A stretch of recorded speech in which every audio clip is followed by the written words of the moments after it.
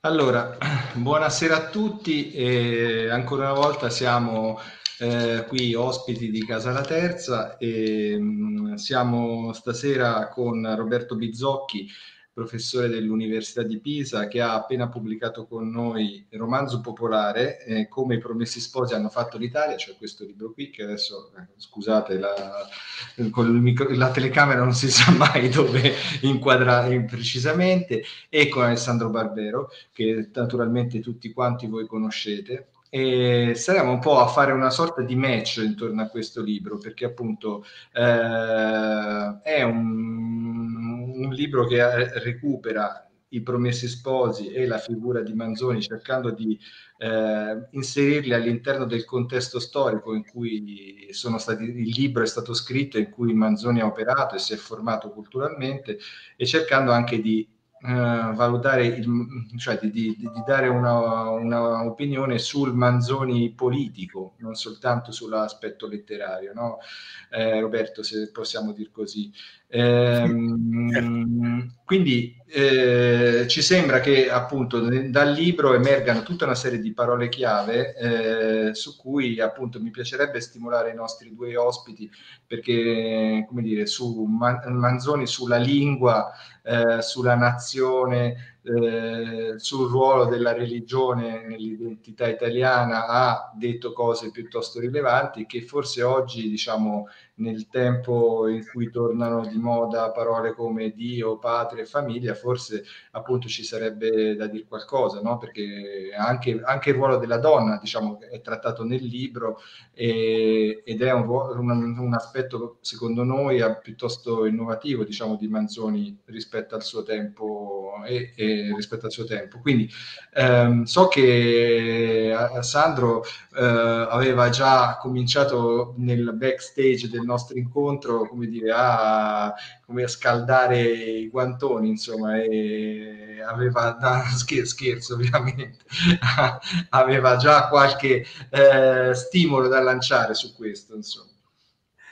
Vabbè, ma eh, ecco, io fa- farei magari una premessa che è questa. Eh, il Manzoni e i promessi sposi hanno un ruolo così colossale nella storia della letteratura italiana e anzi nella storia della nazione italiana, che inevitabilmente tutti gli italiani si imbattono in loro a scuola anche se prima nel backstage abbiamo appreso che ci sono licei italiani dove gli insegnanti si rifiutano di far leggere Manzoni, ma comunque, appunto, di Manzoni tutti gli italiani hanno sentito parlare a scuola e molti hanno letto delle cose a scuola. Questo è inevitabile, però è anche, credo, drammatico, perché Manzoni ha alcune caratteristiche che, secondo me, lo rendono necessariamente poco piacevole, se non del tutto antipatico, dal punto di vista di un teenager. Eh, non so se questo valga anche per i quindicenni o i diciassettenni di oggi, perché non li conosco. Certamente valeva per quelli di 40 anni fa, 45, cioè quando io ho letto Manzoni a scuola. Voglio dire che il Manzoni, eh, quella che all'epoca era l'assoluta modernità della sua lingua, ovviamente oggi non si percepisce più e anzi, specialmente nella sua poesia, eh, si percepisce, come dire, qualcosa che agli occhi di un ragazzo, stavo per dire di nuovo di un ragazzo di oggi, mi correggo, di un ragazzo di 45 anni fa, appariva assolutamente vecchio, pomposo, retorico, mortalmente retorico, cosa che non è in verità probabilmente, eh? E non era certamente al tempo del Manzoni, ma sto solo facendo questa premessa per dire che probabilmente molti di noi del Manzoni a scuola si sono fatti un'idea sbagliata, così come l'ideologia del Manzoni, che ha indubbiamente una dimensione di, di moderatismo e una forte dimensione religiosa, ecco, sono tutte cose che secondo me i 17 anni non sono il momento migliore per capire queste cose e per entrare in sintonia con queste cose. E a me sembra che uno degli scopi del libro di Roberto eh, sia proprio quello di dire attenzione perché in realtà scordatevi il fatto che a scuola vi siete annoiati leggendo gli inni sacri o i promessi sposi, perché qui noi siamo di fronte a un personaggio e a un libro che sono cruciali per capire, per capire il nostro paese. Ecco. Ehm, tant'è vero che il sottotitolo è Come i promessi sposi hanno fatto l'Italia. Ecco. Eh, allora, intanto però io volevo fare una domanda preliminare, e cioè, Roberto, questo libro viene spacciato dalla terza come un libro sui promessi sposi, ma in realtà a me sembra che sia più un libro sul Manzoni a tutto tondo che non specificamente sui promessi sposi, eh, o no? Allora, intanto prima di risponderti, voglio dire subito che non sono, sono d'accordo su una delle due cose che hai detto, cioè che forse 15 anni non è proprio l'età migliore per apprezzare Manzoni, anche se non saprei poi dire, suggerire quando farlo leggere. Sull'altra cosa invece non sono d'accordo che sia un moderato, ma questo adesso ci arriviamo. e, allora, è, è, dunque, come sai meglio di me, il titolo, il sottotitolo, la copertina li decide Giovanni Carletti. è la sua grande esperienza. e quando ha detto, guarda, guarda ma mettiamo come sottotitolo come, ma, come i promessi sposi hanno fatto l'Italia, io gli ho detto, ti, ti commento con una parola, magari magari l'avessero fatta i promessi sposi e non altre cose. Ma eh, sì, è un libro che vuole arrivare ai promessi sposi.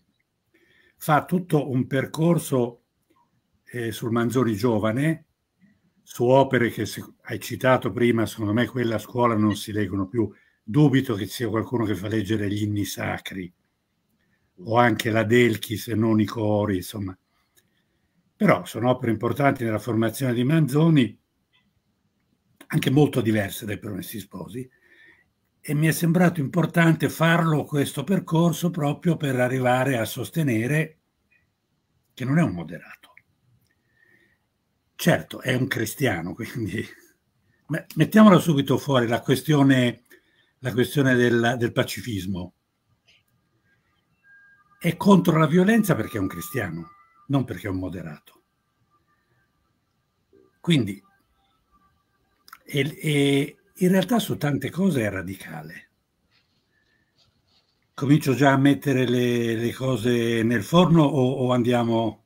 No, no, vai, vai, vai. Sì, perché il tema, scusami, il tema è, è, è ci siamo sì. entrati, eh, come dire, ci dovrei riflettere un po' per trovare un'espressione migliore di moderato. Però il punto credo che qui sia che tu stai parlando di una sostanza eh, della posizione del Manzoni e io parlavo più di un'apparenza, cioè a prima vista, leggendo certi suoi commenti, sembra un maestro appunto della sfumatura, della posizione mediana e così via.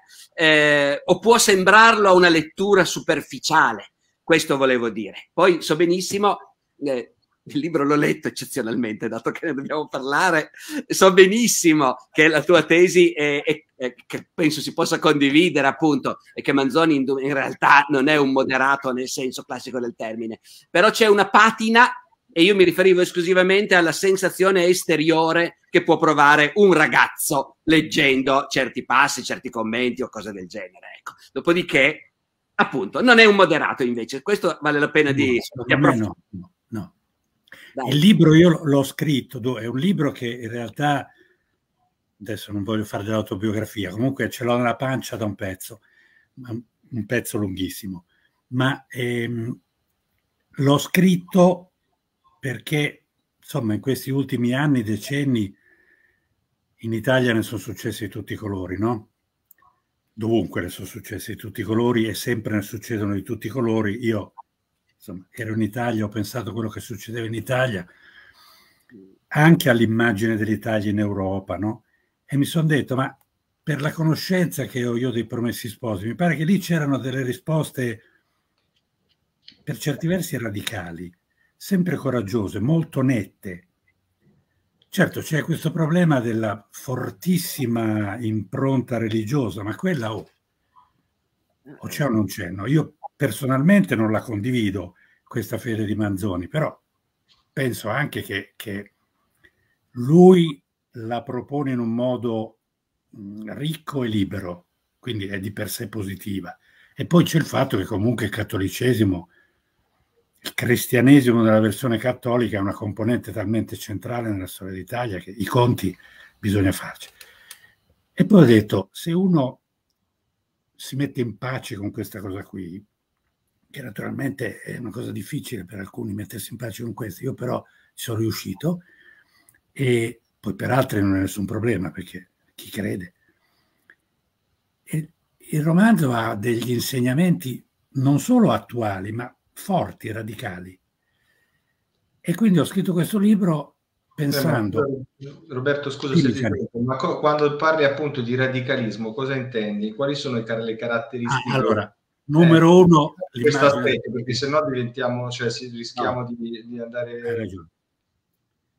Il primo che mi viene in mente è l'immagine del potere, cioè la capacità di contestare il potere, di mostrarne tutte le, le le disonestà, le furbizie, eccetera. È una denuncia altro che moderata, radicalissima. Questa è una. L'atteggiamento verso il popolo. Anche qui c'è la vecchissima questione, voi siete un po' più giovani di me, non so se ve la ricordate, ma negli anni 70 c'era la grande questione è abbastanza di sinistra Manzoni, è abbastanza di sinistra Leopardi, no Leopardi è più di sinistra di Manzoni, cose che rilette oggi anche da parte di grandi studiosi ci sembrano un po'... Ma insomma, lui, il popolo l'ha messo al centro della sua attenzione. Ha fatto di due popolani gli eroi.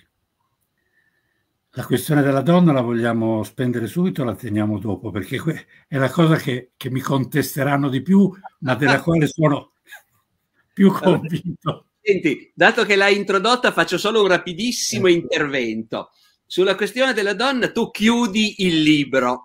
Eh, chiudi il libro dato, dicendo sostanzialmente che eh, Renzo eh, e Lucia hanno, hanno, non so quanti figli dell'uno e dell'altro sesso.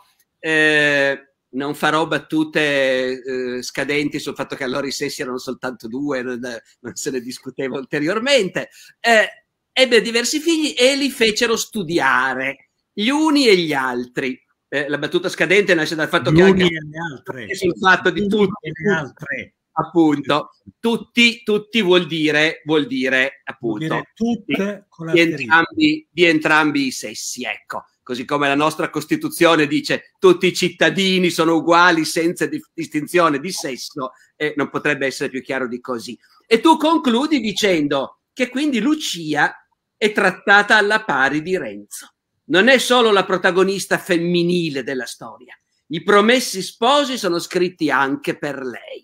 Vabbè, i promessi sposi sono scritti anche per lei, sono assolutamente d'accordo. Però senti, la frase che tu citi è Renzo volle che imparassero tutti a leggere e scrivere.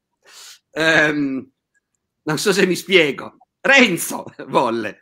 Uh, com'è, com'è, questa cosa? Eh, voglio dire, è un'idea che tu hai avuto da sempre che ti, o che ti sei fatto più di recente anche sulla spinta della maggior sensibilità che noi abbiamo per questo problema cruciale, l'idea che nell'ideologia del Manzoni ci sia anche appunto una parità di genere o qualcosa che, che va in quella direzione? L'hai sempre pensato? Com'è questa cosa? Visto che tu hai introdotto... L'ho sempre pensato e lo penso ancora. Cioè, qui secondo me bisogna distinguere, tanto bisogna fare non importa che ve lo dica, un po' di proiezione storica. Ci sono delle cose che da Manzoni, no, non è che da Manzoni non ci possiamo aspettare, da nessuno scrittore del primo Ottocento ci possiamo aspettare. Cioè non dimentichiamoci che il libro pubblicato nel 1840 di fatto è scritto nel 22-23 e la prima edizione del 27, la prima pubblicazione del 27. Quindi siamo due secoli fa, esattamente 200 anni fa. Quindi ci sono delle cose che non ci possiamo aspettare, no?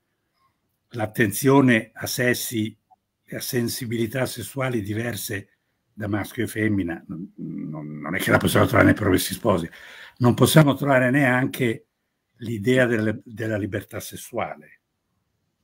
Anche questa è relativamente recente, no? È una cosa di cui siamo convinti da una cinquantina d'anni, forse anche meno. Poi tanta gente non ne è convinta neanche oggi, no? i, i maschi che pensano che la sessualità delle femmine gli appartiene, ce ne sono anche oggi, no? Sì, scusa, ti interrompo un attimo. Vero è che invece nella Francia del Settecento, eh, a livello sociale a cui apparteneva Manzoni, eh, se uno legge Marivaux, legge Choderlos de la Clos, eccetera, l'impressione è che invece in quel mondo lì, in quell'elite ovviamente ristrettissima e, e, e non italiana, certo, ecco, però Manzoni, in cui Manzoni si è nutrito anche, no?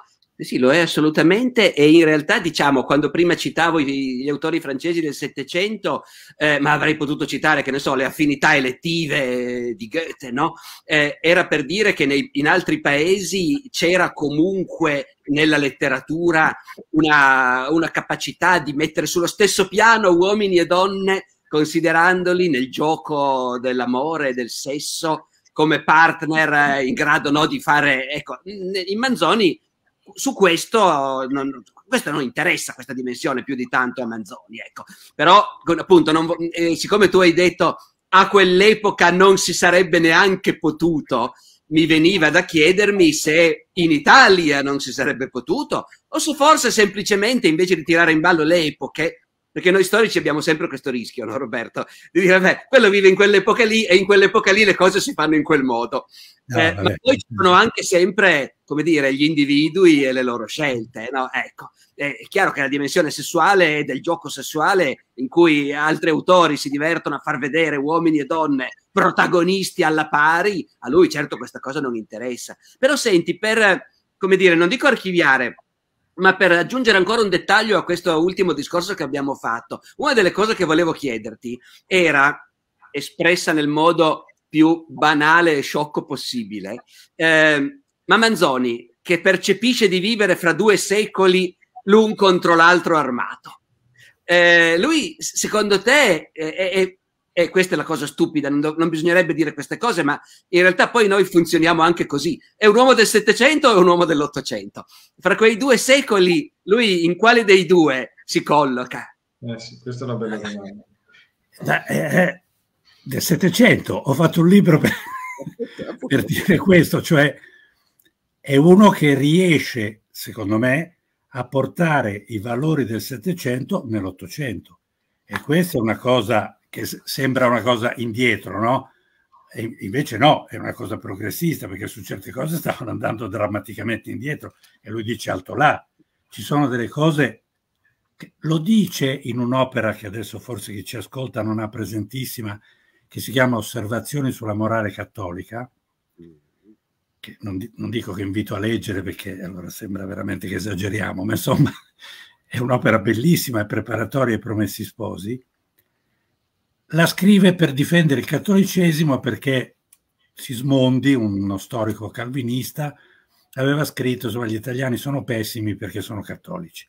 E allora lui naturalmente è un italiano, un cattolico, un patriota, vuole l'Italia unita, vuole gli austriaci fuori dall'Italia, dice no, attenzione, e quindi gli risponde sul cattolicesimo. E, però queste osservazioni sulla morale cattolica fanno l'apologia del cattolicesimo facendo i conti con quello che lui chiama lo spirito del secolo, cioè i lumi. E a un certo punto lo dice proprio, attenzione perché corriamo il rischio quando qualcosa è finito male, e ovviamente l'idea lì è quella che a loro sembrava, e a qualcuno può sembrare anche oggi, la degenerazione della rivoluzione francese col terrore, ghigliottina troppo disinvolta, eccetera, eccetera. Dice quello che ci sembra eh, finito male ci fa giudicare male anche quello che è venuto prima. E lo dice, ma quello che è venuto prima è un'eredità irrinunciabile ed è l'eredità dei lumi.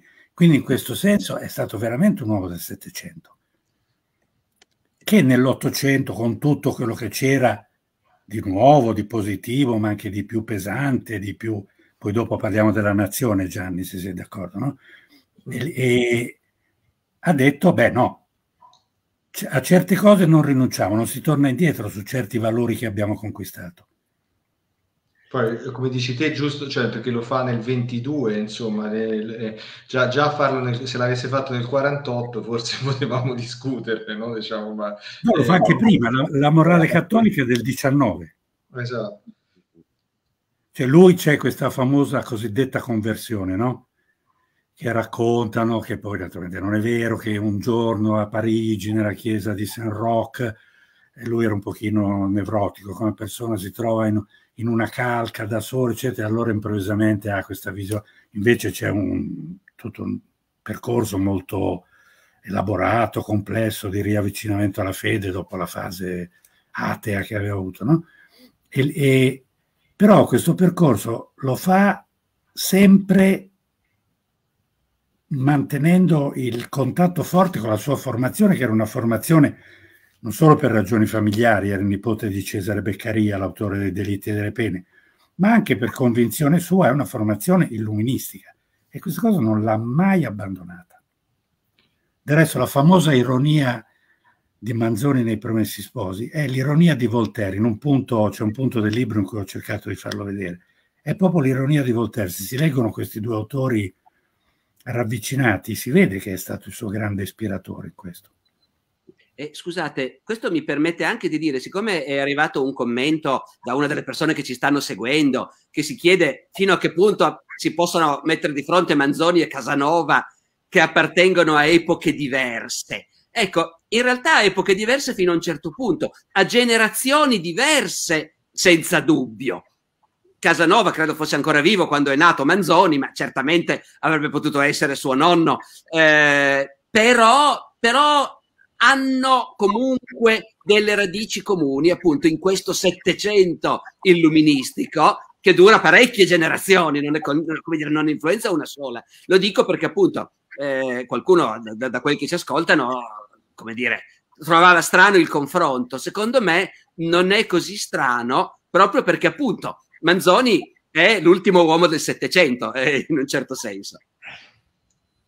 Sì, sì, Insieme con Leopardi, naturalmente, che lo è tanto anche lui, ma adesso non mettiamo in mezzo Leopardi, se no. No, perché se no riapriamo il derby, diciamo. No, no, no, la famosa questione del derby, chi più, se era più progressista Leopardi. Ma...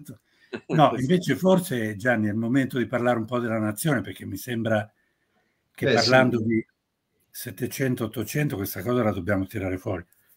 Una grossa parte del libro tratta di questo, no Sandro? Hai avuto anche tu l'impressione assolutamente sì, e io volevo, se, se vuoi, volevo entrare nell'argomento in questo senso. Eh, parlando non soltanto a Roberto Bizzocchi che ha scritto un libro sul Manzoni, ma a Roberto Bizzocchi storico dell'età moderna. Il punto è questo.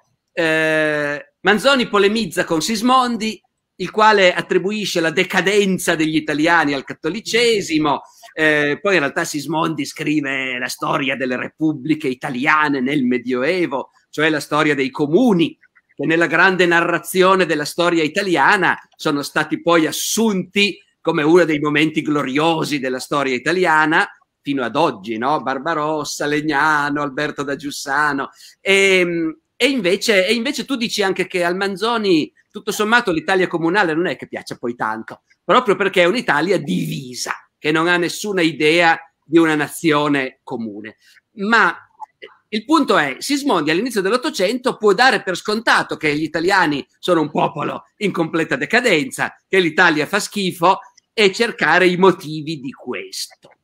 E in qualche misura, eh, ecco, quello che ti volevo chiedere è intanto, ho ragione ad avere l'impressione che gli intellettuali italiani si sono abbastanza accodati a questa idea, eh sì, siamo un paese in decadenza, perché siamo oppressi dallo straniero, perché siamo divisi, perché siamo un volgo disperso e così via, eh, quando in realtà, e forse hanno perfino esagerato questa cosa, perché mi sembra che nello studio della storia dell'Italia moderna, del 500, del 600, del 700, venga fuori da tutte le parti il fatto che l'Italia continuava in realtà a essere un grande paese da tanti punti di vista, con una lingua che era rimasta una delle lingue internazionali, eh, con una posizione nella musica, nel teatro importantissima, nell'arte ancora in generale, con una stima internazionale, per carità, per la cultura italiana, magari non per l'Italia le sue condizioni economiche e le sue plebi, ecco, ma eh, con un ruolo anche militare, certo al servizio di potenze straniere, ma mi sembra che, vista da come la raccontate tu e i tuoi colleghi, l'Italia del 5, 6 e 700 non sia quel paese in spaventosa dissoluzione eh, che invece viene un po' fuori dall'immagine che ne danno i nostri stessi intellettuali risorgimentali. No, no, su questo sono assolutamente d'accordo perché è un dato di fatto, eh.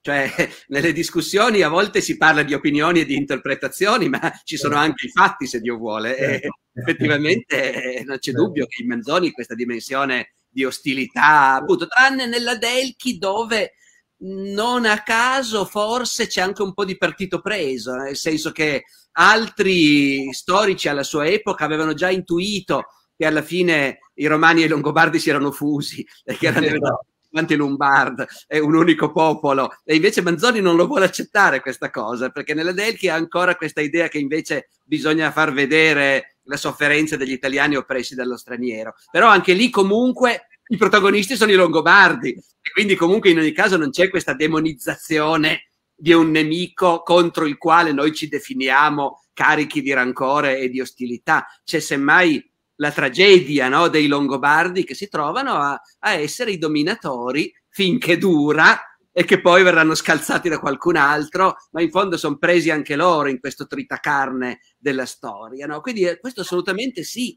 E, e, mi sembra che in questa prospettiva possa rientrare anche un'altra cosa a cui volevo accennare. E io leggendo il libro mi sono reso conto di una cosa che non avevo così chiara, che Manzoni è estremamente lucido nel denunciare eh, gli orrori dell'antica Roma, gli orrori dell'imperialismo romano, della visione del mondo romana. Ecco, in questo in contrasto molto netto eh, con, tutta, con tutta, credo, la sua epoca. Ci sono queste pagine in cui lui, appunto, di fronte ai discorsi sulla virtù degli antichi, eh, evoca invece le stragi, i massacri, le torture. Eh, questo è molto, molto interessante c'è anche quel passo in cui, in cui sembra, sembra quasi Brecht, quando sgrida Plutarco perché racconta che Catone ha fatto questo, ha fatto quello, e poi dice: Ma alla gente questo, per la gente questo cosa ha voluto dire? Eh, avresti fatto meglio raccontarcelo, Plutarco. E qui veramente appunto, sembra Brecht quando dice: Lo dico perché i ragazzi di oggi magari non tutti l'hanno così presente, no? Quando dice: Ah, Giulio Cesare conquistò la Gallia da solo? Non aveva con sé nemmeno un cuoco. Ecco, questo è un aspetto molto, molto affascinante di Manzoni, direi. No? Hai visto, Sandro, che non è un moderato Manzoni, è come Brecht. È un comunista. C'è, c'è, un punto in cui l'ho avvicinato ad Engels. Questo, allora mi tirate dentro la prossima domanda che vi volevo fare perché cioè, non a caso abbiamo chiamato questo libro il romanzo popolare no? perché uno degli aspetti centrali è proprio la rappresentazione del popolo cioè, ma che idea ha Manzoni del popolo cioè, è un'idea è, c'è, un, c'è, del populismo in Manzoni in qualche modo Come, perché... no, no no no no non c'è del populismo però c'è allora non è neanche come dire, se, se, vedo che abbiamo qui a destra gente che scrive, eccetera, immagino che siano persone che leggono, che leggono molto, che amano. Eh, se uno va a riprendere in mano i promessi sposi, non si deve aspettare i miserabili di Victor Hugo. Cioè, ci sono degli scrittori dell'Ottocento che hanno un senso del popolo che ti prende alla strozza qui e ti fa piangere, no? Mi ricordo io quando ho letto I Miserabili, dico, ma, ma Manzoni non è così non perché sia meno radicale o meno comunista, come diceva, ma perché è ancora molto uno scrittore del Settecento, quindi è, è, sempre molto raziocinante, poco sentimentale, eccetera. Ha fatto però un'operazione che all'interno della letteratura italiana è un'interpretazione, no, interpretazione, operazione rivoluzionaria. Cioè, non dimentichiamoci di, di quello che era la, la letteratura italiana anche in autor, autori sommi contemporanei di Manzoni. La classicità, la tradizione aulica, i grandi personaggi, Plutarco, le vite parallele, gli eroi, eccetera. I contadini fanno parte solo della letteratura satirica antivillanesca. Oppure sono le pastorelle dell'Arcadia, diciamo. Oppure sono le pastorelle dell'Arcadia. Oppure sono torno a citare un'altra volta Leopardi, perché insomma c'è anche Leopardi, eh, sono queste figurine della Recanati che lui eterna con questa genialità un po' fuori dal tempo, no? Ma Manzoni ha preso due contadini Brianzoli, li ha, no, Brianzoli del, del lago, e li ha messi lì e ne fa dei protagonisti. E scrive, arriviamo finalmente a parlare della lingua, se no il tempo qui scorre e non parliamo della lingua. Però senti Roberto, eh, no, eh, eh, eh, dire una, una, cosa a margine di questo, eh, e poi chiudiamo parlando della lingua, ovviamente. Eh, I, Manzoni prende, eh, crea dei contadini con affetto e con attenzione. io ho sempre avuto la sensazione che non siano dei contadini dell'inizio del Seicento ma sono dei contadini lombardi della fine del Settecento, inizio Ottocento. Deferenti. No, Sandro, neanche, non sono neanche contadini lombardi dell'epoca di Manzoni. Mi pare che sia stato Moravia che ha detto, ah, ma i progressi sposi, Manzoni è uscito lì dalla villa di Cormano, e, ha guardato e ha fatto il diario di quello che guardava, ma figuriamoci, se i contadini lombardi del primo Ottocento, non parliamo di quelli del primo Seicento, erano così compiti, eh, così a modino, allora, qui c'è la grande operazione. L'altro giorno un mio amico mi ha detto, ma Lucia è un personaggio ideale o reale? E gli ho detto, Peppino, è un personaggio propagandistico. Non è una parolaccia, c'è questo elemento programmatico nei promessi sposi, è fortissimo, da, da tanti punti di vista. Ritorniamo un attimo su una cosa che abbiamo accennato prima eh, Gertrude. Le nostre amiche, sono soprattutto donne, studiose del monachesimo dell'età moderna, ci hanno spiegato che c'erano un sacco di ragazze che erano felicissime di andare in monastero, c'erano delle grandi vocazioni e comunque c'erano tanti che dicevano vabbè, questo è il mio piano di vita che mi prepara alla situazione in cui sono nata, va bene. Manzoni polemizza ha fatto benissimo perché deve rappresentare eh, il pericolo di certe prepotenze e deve sostenere il diritto di scelta di una ragazzina, ma non è che ha rappresentato una situazione mediana, ha fatto proprio una scelta di battaglia e il romanzo è tutto così. È tutto fa- non tiriamo in ballo la colonna infame, se no non finiamo più. No, no, parliamo di lingua allora, dai. Sì, sì. Anche se la colonna infame, questo diciamolo en passant, tutti noi, noi tre, chi ci ascolta, tutti noi, abbiamo letto I Promessi Sposi in un libro che aveva un'introduzione, il commento a ognuno dei 38 capitoli, non aveva figure, al massimo ne aveva una sulla sovracoperta e non aveva la colonna infame. Ma nella testa di Manzoni i Promessi Sposi si leggono con le illustrazioni che lui ha curato insieme con l'incisore Gonin e con la colonna infame. Il che vuol dire aiutiamo la gente che fa fatica a leggere come Renzo mettendogli le figure. Cioè il più importante romanzo della nostra letteratura è un libro con le figure, ma non per i bambini, per la gente che sta imparando a leggere. E poi, signori, ho dovuto fare un lieto fine perché è un romanzo, il genere romanzesco, anche se io lo aborro, eh, però deve finire bene, eccetera, ma lo sappiamo bene che la realtà è più dura del romanzo. E la storia della colonna infame è un testo tragico. Piaccia o non piaccia, qualcuno non piace, è un testo tragico. Arriviamo alla lingua. Sì. Hai dato, ci, hai dato, ci hai dato, come dicono i ragazzi oggi, hai spoilerato tutto, però così diciamo, ci, già ci dici che, che ci preannunci già la fine, insomma. Così. No, andiamo sulla lingua, andiamo sulla lingua. Andiamo sulla lingua. Eh, comincio da un aneddoto. Eravamo a Rimini e leggevamo il, il dialogo fra eh, Renzo Don Abbondio quando, quando Don Abbondio cerca di abbindolarlo, no? perché gli deve dire il matrimonio non si può fare, no? e, e, a un certo punto, e non gli vuole dire il nome del prepotente, che, e a un certo punto Renzo dice, le prometto che fo uno sproposito, se non mi dice il nome di quel ribaldo, no? E mi ricordo un mio compagno che alza la mano e dice, professoressa, che vuol dire fo?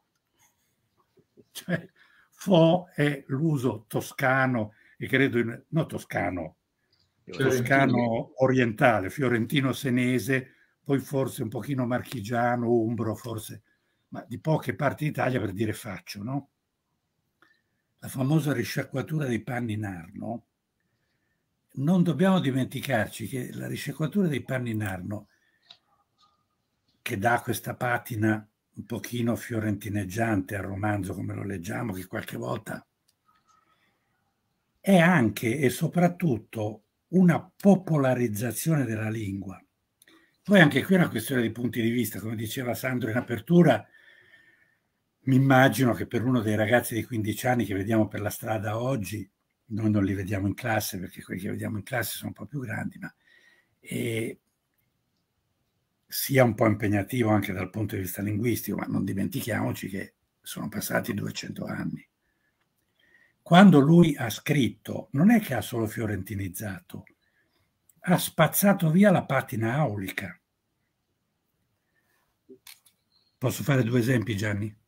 Sì, sì, rapidi, se no non diamo tempo a Sandro di rispondere su questo. Allora, il primo è l'uso di lui, lei come soggetto, che è una cosa fiorentina. Nel 1820 è una cosa fiorentina. E Manzoni la fa propria. Però questo significa che quando i due bravi eh, vedono arrivare Renzo, nella prima versione, quella non fiorentineggiante, si dicono uno con l'altro, egli ed esso. E invece nel 1840, appunto Sandro ride, dicono, eccolo è lui. E noi come diremmo, egli ed esso o eccolo è lui? Un'altra cosa è l'accusativo con l'infinito allora, per chi non ha fatto il liceo classico, l'accusativo con infinito è una costruzione latina che nel 1820 usano ancora i letterati italiani. E quindi nel 1827 Manzoni scrive la badessa rispose dolerle assai che... E poi nel 40 scrive la badessa rispose che le dispiaceva molto. Noi come diremmo ancora oggi? La seconda che hai detto, no? e quello lì è stato Manzoni. Certo, naturalmente ci sono anche correttamente nel tuo libro gli esempi opposti di quando Manzoni nel 27 scriveva io muoio e poi invece sente il bisogno di correggere io muoio perché, perché la, la, governante di sua nipotina che è di Firenze gli ha detto oh, da noi si dice muoio. Allora, Però diciamo... lo capiamo, muoio e lenzolo. Sì, no, no, ma io... A Gianni, a te, a me lenzolo ci sono un po' strano però capiamo cosa vuol dire. Certo. Senti, io se volete chiuderei parlando della lingua, evocando un signore che tu tratti maluccio, devo dire, il sommo Isaia, grazie a Dio, Ascoli, eh, il quale appunto mh, aveva, aveva, un'idea, viene dopo naturalmente, eh, quando però evidentemente l'italiano non è stato ancora fatto, nonostante i promessi sposi siano già usciti da un pezzo, e l'Ascoli L'Ascoli trova che questa idea di mandare maestri fiorentini in tutta Italia per insegnare ai ragazzi a dire io muoio non sia proprio ideale e che in fondo insegnando alla gente a leggere, a scrivere e così via si formerà in modo più spontaneo no? un italiano comune e che in ogni caso anche i dialetti vanno benissimo. Queste sono cose che oggi ci piacciono enormemente. Eh, io sono del tutto a favore, naturalmente. Eh, no, però mi piacciono Ecco, dopodiché tu appunto l'Ascoli lo tratti maluccio perché quando fai il no. confronto tra lui e la, sua, e la, risposta di Manzoni si vede da che parte sta il cuore. Dai. Per lasciare i nostri ascoltatori, perché ormai purtroppo l'ora si è fatta, eh, volevo chiedervi un consiglio da dare appunto a chi ci ascolta su quale pagina di Manzoni rileggere, diciamo così, proprio un flash, visto che magari mh, forse i Promessi Sposi non hanno fatto l'Italia, però hanno contribuito sicuramente un pochino a formare ciascuno di noi e sono stati parte della nostra formazione. Allora, quale, quale, pagina consigliereste? Qual è la cosa che vi viene in mente, che vi è piaciuta di più dei Promessi Sposi, che vi ricordere, ricordereste con più, che consigliereste di andarsi a rileggere? Ecco. mi preso la sprovvista, non l'avevamo concordata e quindi adesso mi metto in difficoltà. Io mi, rifiuto io mi rifiuto di rispondere, ma mi sento di dire una cosa che da ragazzo non avrei mai creduto, cioè che tutti i promessi sposi vale la pena di leggerli e che sono un romanzo molto divertente e questo eh, è una ovvietà forse ma quando io lo studiavo a scuola non l'avevo capito ecco. io, io, mi, io, mi, ricordo personalmente posso dire che è una pagina che mi a parte tutta la storia della Monica di Monza che secondo me è meravigliosa ma anche l'assalto al forno è una pagina eh, strepitosa che andrebbe anche, anche la questione dei promessi paperi di Topolino che avevano fatto su Topolino che era una cosa eh, molto molto divertente. Io comunque già ne avrei detto l'inizio del secondo capitolo di Gertrude non mi ricordo se è l'11 o il 12 quello in cui dice ci sono dei momenti in cui l'animo dei giovani come un fiore sullo stelo eh, rischia di essere preso e condizionato se uno fa il prepotente lì bisogna avere un rispetto massimo. Quella è una pagina straordinaria, ti prende il cuore. Sì, quella è una pagina bellissima, sì, va bene. Allora, ci hai, steso, Roberto, ci hai steso, con questa citazione hai steso tutti quanti, anche perché la ricordiamo di, ricordiamo di averla letta in tempi in cui appunto eravamo giovani e probabilmente ci sentivamo capiti quella, anche da quella pagina, no? E quindi va bene. Allora io vi ringrazio tantissimo di essere stati qui. Vi ringrazio, grazie a voi. Alessandro, ringrazio Roberto e ringrazio tutti quanti ci hanno seguito e spero di rincontrarvi presto per continuare a parlare di questo e di altri libri. A presto.